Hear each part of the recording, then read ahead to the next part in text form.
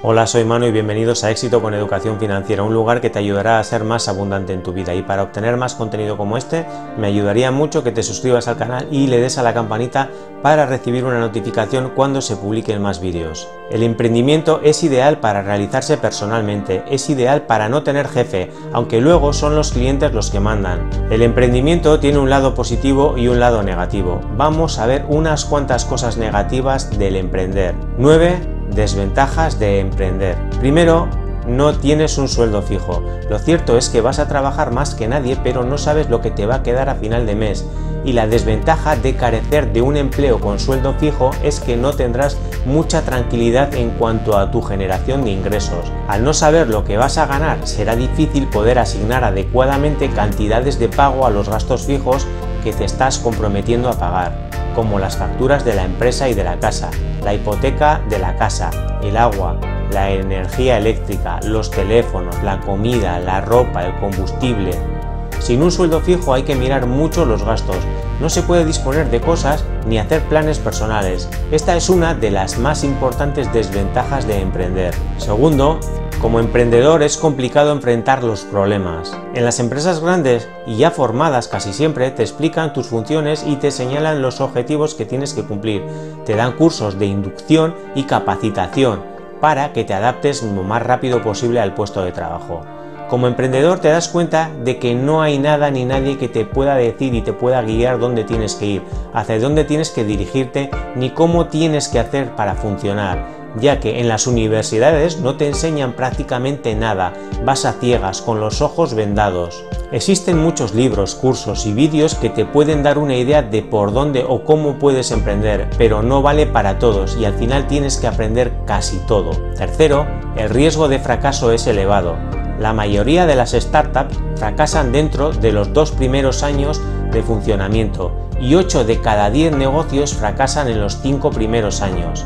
El fracaso en un negocio provoca miedos e incertidumbre. Son muchas las posibilidades de quiebra empresarial que desaniman a cualquiera. El éxito o el fracaso dependen de muchas cosas, pero lo cierto es que las cifras no mienten y aunque sean muchas cosas, alguna de esas cosas te puede tocar e ir a la quiebra. Cuarto, se trabajan más horas. Está claro que siendo emprendedor trabajas más horas y aunque seas el dueño, eso no quiere decir nada, serás el que más horas metas de todos.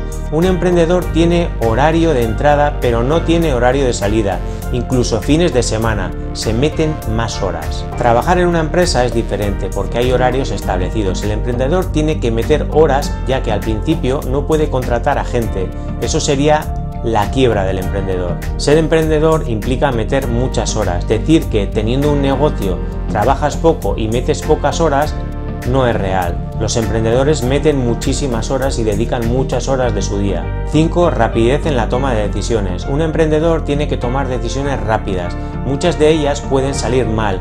Ese es el principal riesgo. Todas y cada una de las actividades del negocio que se gestionan en tu negocio son responsabilidad del emprendedor. A base de golpes se aprende. Sexto, quebraderos de cabeza por errores. El emprendedor paga la curva de aprendizaje. El mejor maestro es ponerse manos a la obra.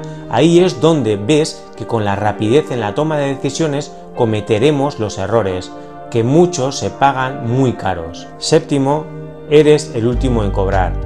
Si eres emprendedor con sentido común y quieres hacer las cosas bien, te pagarás el último. Primero pagar las facturas y salario y luego te pagarás tú.